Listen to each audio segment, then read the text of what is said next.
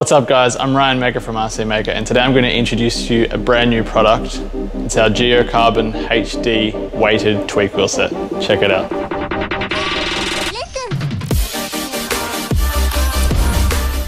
So guys, first off I'm going to share a little bit about um, how these tweak wheels are constructed. So basically we start off with a 3mm carbon wheel that we've machined.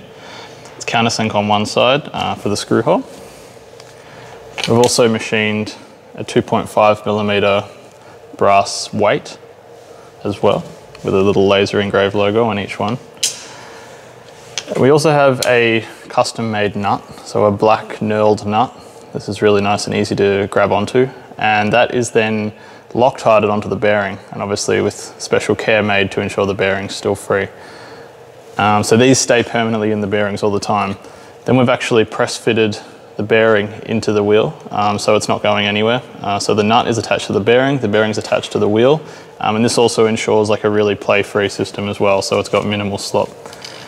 Then using a 3x4 millimeter steel gold-plated screw um, we locate the weight inside the carbon like that, put the screw in from the back, and then that's how you have, you then have your weighted tweak wheel.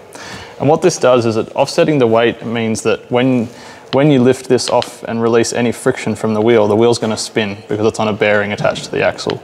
Uh, so as soon as this wheel lifts off the ground, the, the wheel's going to spin. And basically the way that we can use that is to help detweak the car. Normally it's very difficult when detweaking the car to see which wheel's coming up first. You often have to get down and low so you can see which wheel's coming off the ground first. Uh, but this way makes it super easy. You can literally screw all these on, flip them front to back, um, and yeah, you'll be on your way. So we have the A-frame rears, which basically stay stable, and they allow you to work just on the front without anything rolling around or anything like that. So these hold the car nice and stable while you're working on the front to do the tweak. So essentially when the front wheels uh, are on, you're doing the tweak at the back. And when the, you swap these wheels around, you've got the A ones on the front, which are fixed, and then you're moving these ones to the back um, then you're going to be working on the front. So it's basically the opposite like you guys know. So I'll show you how these work. Firstly, we give the car, get the car settled. Make sure you've done your droop and everything first and also that your chassis is flat. That's very important um, when you're detweaking with this method. So we want to grab the bumper exactly in the middle at the front and lift up. And now we're gonna, now we're gonna be watching which wheel uh, lifts off first. And you'll see the wheel that lifts off first is gonna spin because the, the friction is gonna be removed from the ground. So we'll pick it up there you go, you can see this wheel's moved first. So we reset it. Now what we need to do, because this wheel's moved first, it means we need to lower this side of the car. So we need to unscrew this collar and screw in this collar. That's then gonna flatten the car back out. Do the same process again. Make sure you're grabbing right in the middle. You can see this one's still coming off early. So we do exactly the same thing, a little bit more. Unscrew, screw in. And just keep working your way up in about half turn. Um, it's going to make a big difference. You won't have to go a full turn probably on your shock collars.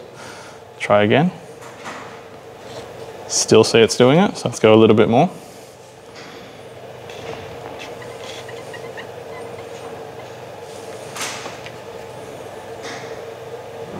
Now, see, we got this, they're both moving at the same time now.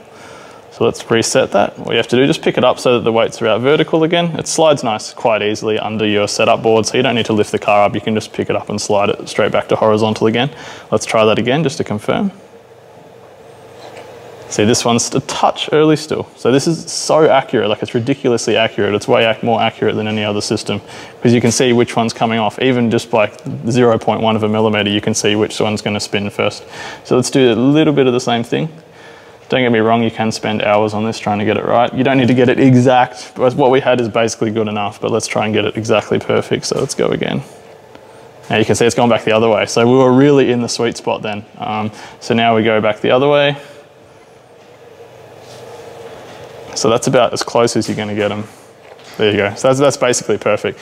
So guys, you can see how, how nice this is. It's perfectly free. Um, they spin really easily with no resistance at all. And this is gonna tell you every time if your tweak's out or not. So all you do to do the other end is you're going to flip these to the back. It doesn't matter which way the wheel's facing as long as it works for you and you can see it spinning. Um, that's exactly how you want it to, to be. So guys, just repeat this process if you want to flip them around and do the obviously the other end as well. So we're going to move these to the back, then move these to the front. Um, and that way you can get, you can then start working on your front collars as well. So then you're going to tweak the car front and rear. and that way you'll get your tweak perfect every single time. So guys, I hope you like this video. I hope these wheels make it very useful um, and easy for you to do your tweak.